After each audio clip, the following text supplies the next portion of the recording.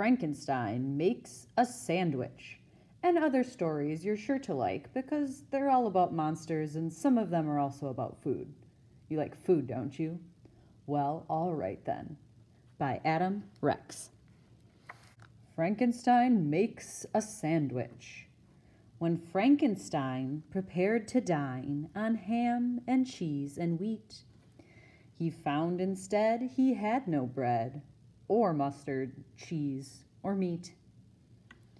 What could he do? He thought it through until his brain was sore, and thought he ought to see what he could borrow from next door. His neighbors gawked as Frankie walked the path up to their porches.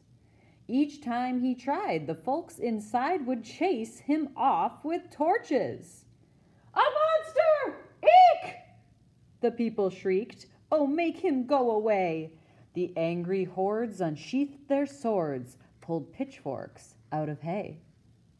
They threw tomatoes, pigs, potatoes, loaves of moldy bread, and then a thought struck Frankenstein as pickles struck his head. It's true at first he thought the worst. His neighbors were so rude.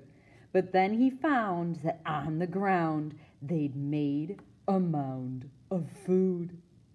He piled it high and waved goodbye and shouted thanks a bunch, then stacked it on a plate and ate a big, disgusting lunch.